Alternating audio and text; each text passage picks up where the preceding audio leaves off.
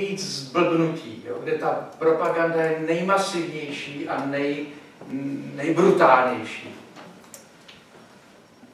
Vzpomeňte si, je to tak 15 let, řekněme, že se příliš nepletu, když vrcholila kampaň proti umístění radarové základny v České republice. Možná je to 17, abych nekecel.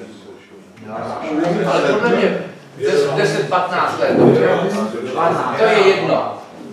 Tehdy, tehdy, když se prováděly průzkumy, 80 a více procent obyvatel bylo proti umístění. Ne, že jim to bylo jedno, proti umístění a proti zatažení České republiky.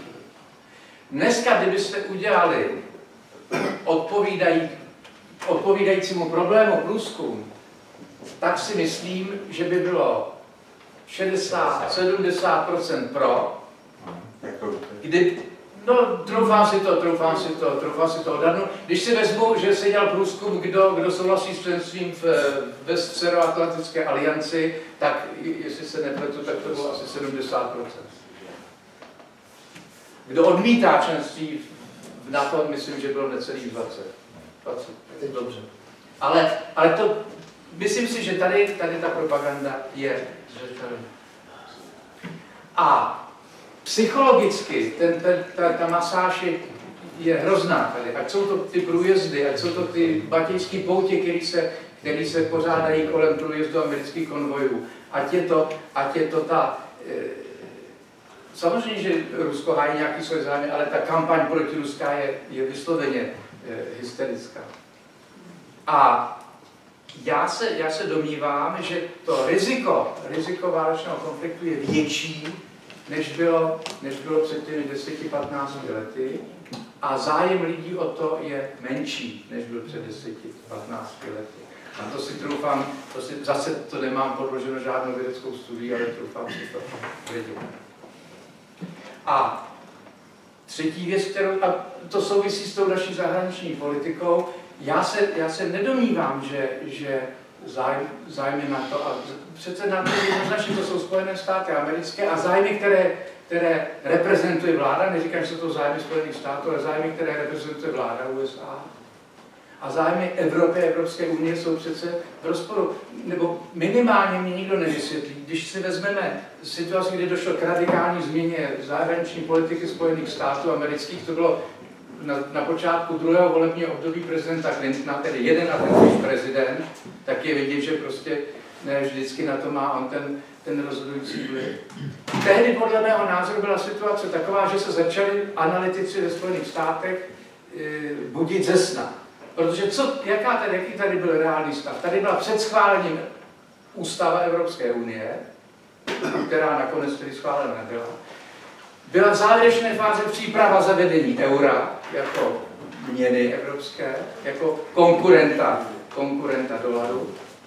A hrozilo, že Evropská unie, ať jaká se začne, začne vyvíjet směrem k nějaké federalizaci nebo konfederalizaci, to znamená, že během několika let bude mít vlastní, ten, ten vlastní bezpečnostní, finanční a, a e, zahraniční politice. A navíc takováhle Evropská unie, která bude spolupracovat úzce s Ruskem, jak, jakožto sousedem a dodavatelem energií. No to muselo být, to muselo být přece pro, pro architekty zahraniční politiky Spojených států jako skutečně černá můra. A k čemu došlo? Došlo postupně ke krokům, já netvrdím, že jediným nebo hlavním cílem těchto kroků zahraniční politiky Spojených států, jako bylo bombardování Jugoslávie, jako bylo e, financování e, arabských revolucí, jako, jako byla válka v Iráku, jako, jako byla Libie, jako byla Syrie, že to byl jediný cíl. Asi, asi tam velkou roli hrály ropa a, a transportní cesty k ropě a takhle, podpora Saudské Arábie. Ale jsem přesvědčen o tom, a minimálně výsledek je takový, jestli to bylo chtěné nebo nechtěné, nebo kolaterální, jak se říká, to je podle mě úplně jedno, protože výsledek je takový, že Evropská unie je dneska v naprosto dezolátním stavu, Určitě to neprospělo ke zlepšení spolupráce v Evropě, určitě to neprospělo k, k nějakému upevnění Evropské unie, určitě to neprospělo ke zlepšení vztahu mezi Ruskem a, a zbytkem Evropy a tak dále. A, tak dále. a za touto politiku to byla politika Spojených států amerických, respektive těch, jejich zájmy politika Spojených států reprezentuje. Protože ani v zájmu Spojených států amerických to není. Byť ty války všechny se odehrávají daleko. Obávám se, že dnes už se mohou, se mohou klidně na to vykašlat, nechat to být, že tady už je to tak roz, roz, rozkakaný, že z toho se bude Evropa, ne Evropská unie, Evropa, hrabat velice dlouho. Ty vztahy jsou tady natolik poškozené. A stejné, a zkusme se zamyslet, co může budit ze sna tyto strategie dnes. To je podle mě primárně Čína, její spolupráce s Ruskem, s Indií a, a vytváření nových, nových ekonomicko-politických vazeb, které jsou. Proto si myslím, že tak, jako se vlastními nebo cizíma rukama eh, to podařilo udělat v Evropě a v jejím okolí bezprostředním, že o to se teď budou, o to se teď budou usilovat v jeho východní Asii a prostě dát těm aktérům těch procesů, které se jim nelíbí, tolik, tolik práce, tolik problémů a tolik eh, komplikací, aby, aby asi se nedostane, nedostane do prostoru jako je Evropa, ale aby neměli čas na budování nějakých integračních vazeb ekonomické, politické, bezpečnostní, finanční a další spolupráce. To je, můj, to je můj názor a myslím si, že z tohoto hlediska je naše zahraniční politika politikou loutkových vlád, protože protože to není zájem ani České republiky, ani Evropy jako Evropy, ale ani Evropské unie. Tolik, k tomu. Děkuji. Máme, máme, máme 8 minut. Viděl jsem jednu zvednutou ruku, druhou, no po druhý, třetí, když tak čtyři. Tak.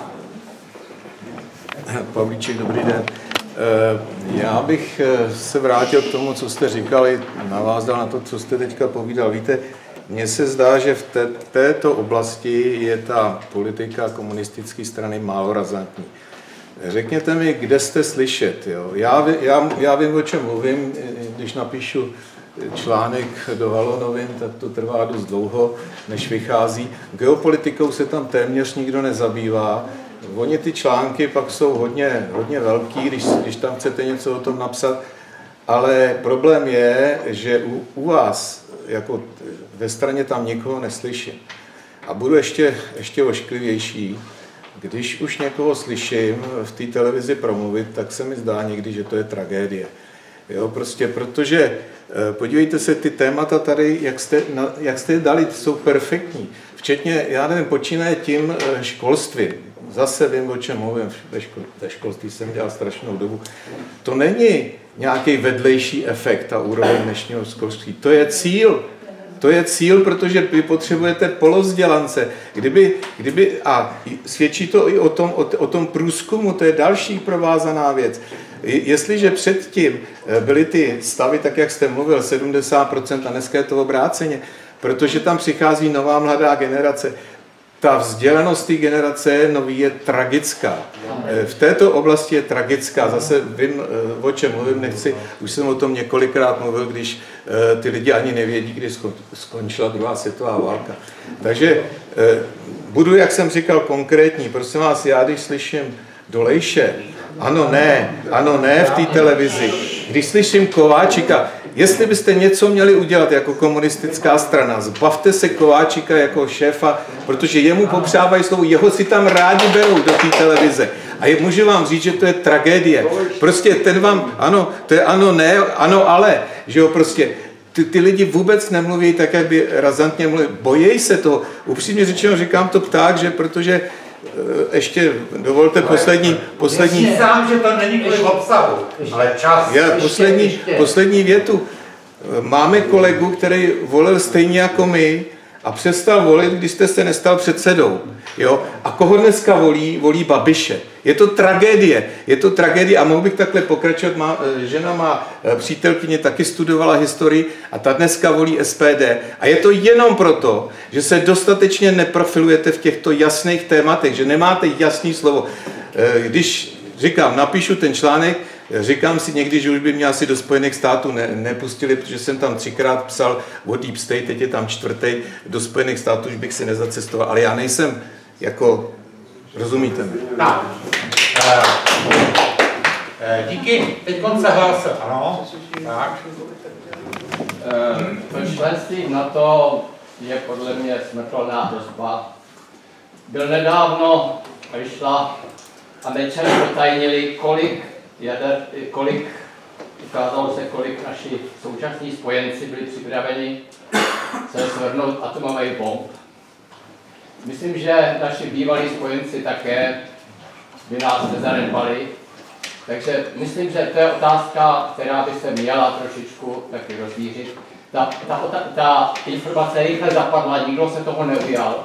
Podle mě by klidně televize mohla po každém tom místě, kde byla spadnuta atomová bomba na to, že jeden díl seriálu, zeptat se těch lidí, jestli o tom věděli, proč, zeptat se odborníků, proč tam ta atomová bomba vlastně měla spadnout a zeptat se dalších odborníků, jestli dneska nehrozí to samé. Která televize?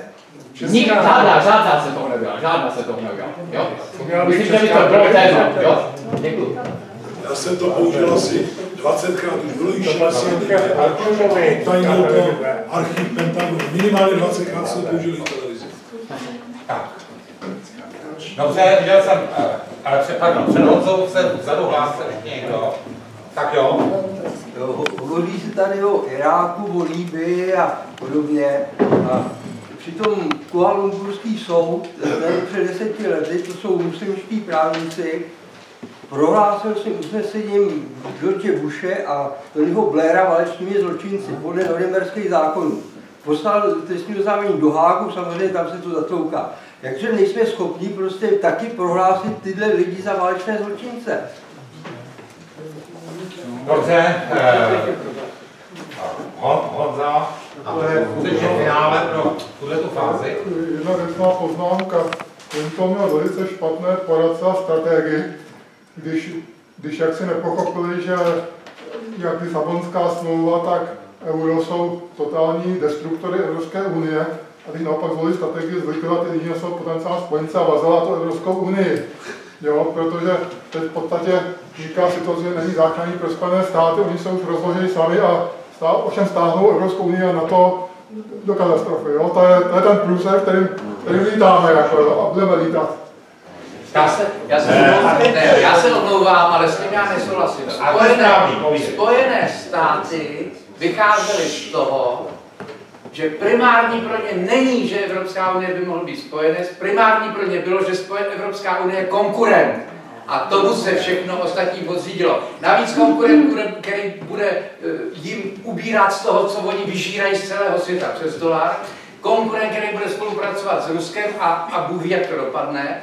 A e, tohle byl, tohle byl základní, to znamená to, že, to, že Evropská unie jde, jde do háje, není, není blbými poradci prezidenta Clintona, nemluvím o, o tý, co, co, co tam byli dva, který kouřili švilí do mě v oválné pracovně. Chceš jako.